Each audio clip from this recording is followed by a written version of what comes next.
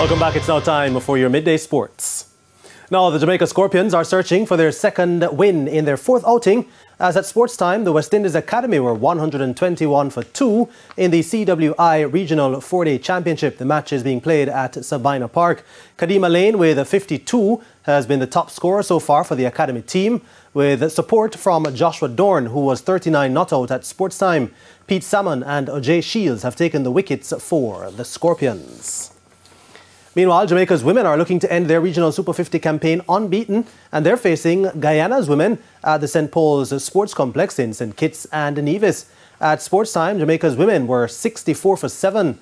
Rashada Williams was the top scorer with 31, while Chedean Nation contributed 20. Ashmini Munisar and Sienna Retimaya have been the best bowlers for Guyana.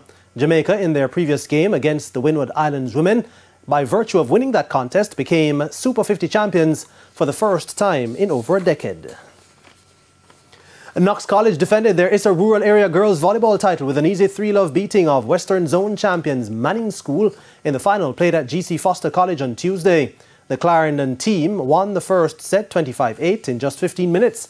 Mannings put up a better showing in the second, but went on to lose the set 25-21. The young Mannings team again showed some fight in the third and final set, but Knox proved superior and took that set 25-17. It wasn't um, that bad, um, but um, we sort of stepped back a bit in the second set, um, sort of relaxed a bit, and we, we were tending to play the other team's game.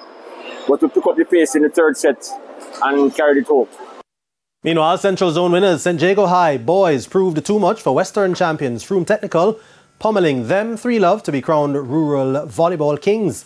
They took the first set 25-15, riding the wave of the powerful service and hitting game of Lovelet Blake. St. Jago uh, took the second set 25-14 and then wrapped up the match as they won the final set 25-18. Under 20 record holder Jaden Hibbert will be the main attraction in the men's triple jump at this year's Racers Grand Prix. Uh, this was confirmed on Tuesday by president and head coach at the Racers Track Club, Glenn Mills. Still, um, Frome was able to win them, beat them by one point. I knew. And what happened is that they were training, not I didn't give them permission. They trained the day before the competition. And normally, when they train up tonight in the day of the competition, they're going to use up a lot of energy, concentration, and all of that going to set in on the following day. So I knew at the end of that day, when I saw how the, how the game turned out on the Will Claye comes to mind, who has been a veteran at it. Um, Olympic and World Championship medalist and we expect a very exciting um, competition. Mills is expecting great things from Hibbert this season. Last year, um, he did some amazing jumps. And unfortunately, he was um, injured at the World Championship. Uh, I think he was odds on to win the gold medal and um, he has come back and is training exceptionally well and um, we think that there is something special in store this year.